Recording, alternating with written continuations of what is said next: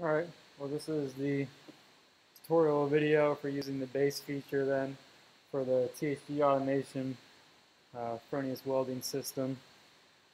Uh, this would be for the choosing feature, the option here that you can see on the screen.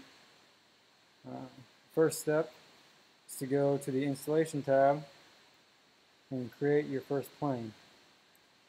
You can use point, line, or plane, but a plane will give you a more precise uh, setting. Uh, first you want to power on the robot so that it can move the robot arm.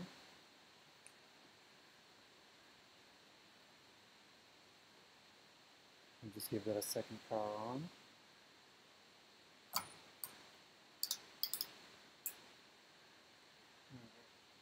So for this first plane, we'll just be teaching, going to the teach button down here. And it will actually give you the steps for setting up the plane. So first we'll go through and set up the origin. You'll see me set here.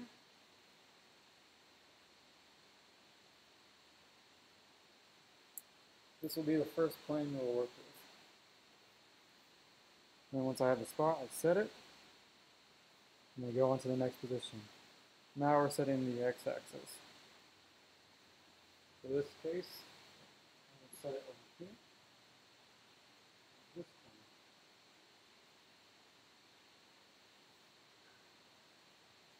one. And set. Now we set it for the y-axis. Here. Go up to this corner.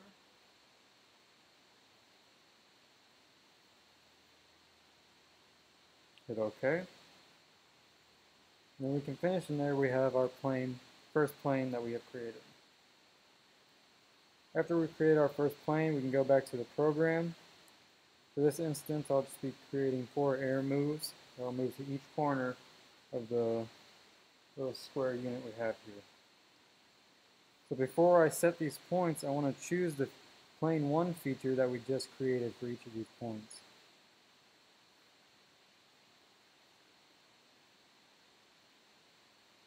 This can also be done on any of the weld moves as well as the part check as you can see here that I'll quickly look over.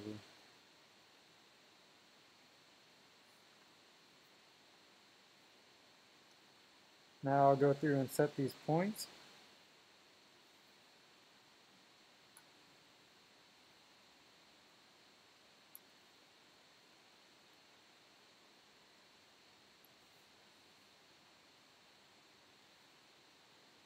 I'll just have it move four corners. Of our setup here.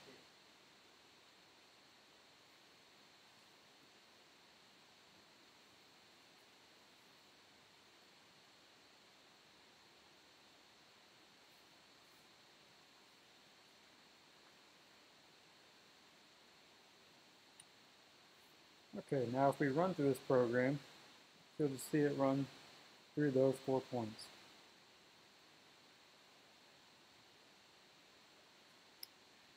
Now if we want to change where those points are going to, we have a different feature that we want it to work off of, but we don't want it to create all new points, then we just have to go through, create a second plane, and teach this plane now. In this case, we'll be wanting to move over to our feature here. So first we set up the origin again.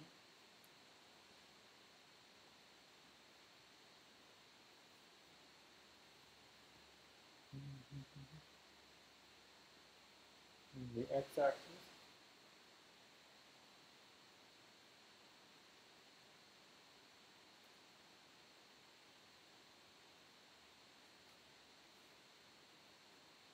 And then lastly the y.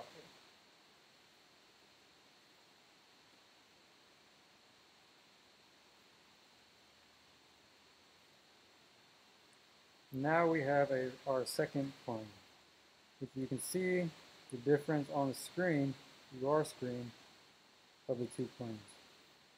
And if we go back to the program, and we switch the features now to be based off of plane 2.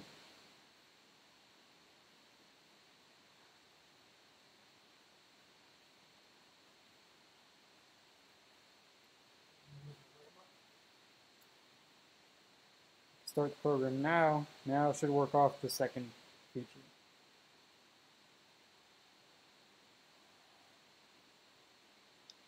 So it moves to the same positions as the first feature, but now onto the second one.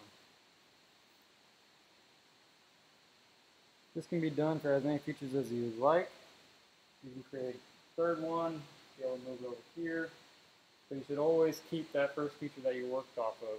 If you delete the feature that you originally worked off of, it will cause an error and the air moves will no longer will be usable.